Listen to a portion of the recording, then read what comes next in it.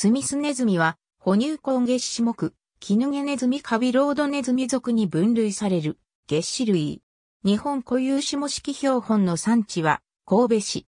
大規模な山海に沿って分布し、紀伊半島南部、島根半島、知多半島、房総半島、三浦半島、ワニ塚山地、弥彦山などには分布しない。県別では1992年の時点で、茨城県と千葉県では確認例がなく、このうち千葉県に分布しないのは、重積平野によって分布が遮断されているためと考えられている。東道町7から11.5センチメートル。お長3から5センチメートル。体重20から35グラム。南部個体群の方がより大型になる。ヤチネズミとの識別形態として、尾の比率が用いられたことがあるが、成長に伴い比率が小さくなるため有効ではない。入頭数は4の6個。入頭式は002イコール4の素形部に対で、計4個か、102イコール6の胸部1体と素形部に対で、計6個入頭数や虫根であることから、ビロードネズミ属とする説、アンタライアミーズ属、本種とヤチネズミで、フォールミーズ属を構成する説などがある。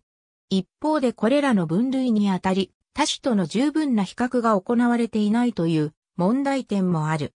入頭数や陰茎骨の形状が異なることから、中部地方以北の個体群を影ネズミやテナミズかジーウスとする説もあった。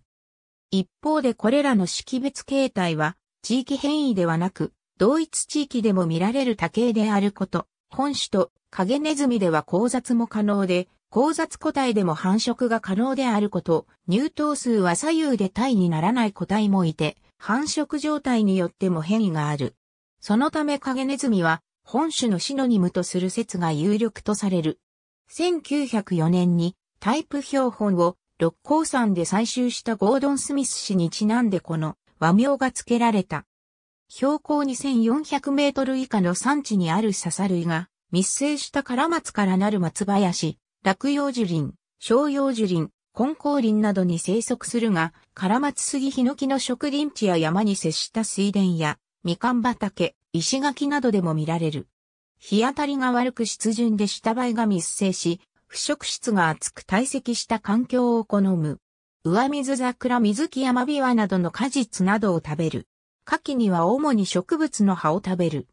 山中湖畔で採取された胃の内容物からは、落葉樹の再編、草本の茎、稲科植物の表皮が発見された例がある。捕食者は、イタチ類、フクロウ類、日本マムシ、ジムグリなどが挙げられ、イタチ類の糞から体毛や骨片が発見された例もある。